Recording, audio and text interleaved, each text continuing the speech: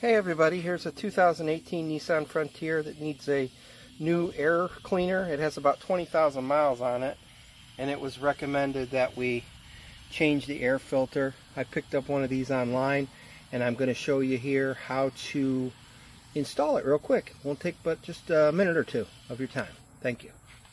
2000 online do it yourself compared to having it done at the uh, oil change place. So I'm going to show you how to do it real quick. It's just a quick two minute video on how to replace your air cleaner. Again, this is a 2018 Nissan Frontier.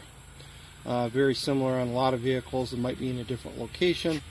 But what you do here is there's two clips here to remove the uh, air filter cleaner housing.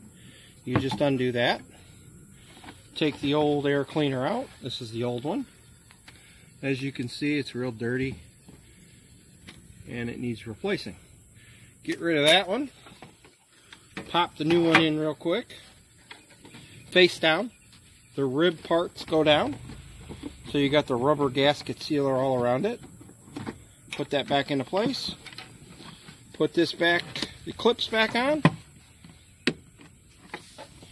And there you go. It's just, it takes you about a minute or less to do that and you can save yourself a lot of money. Thank you and have a great day and please subscribe and like the channel.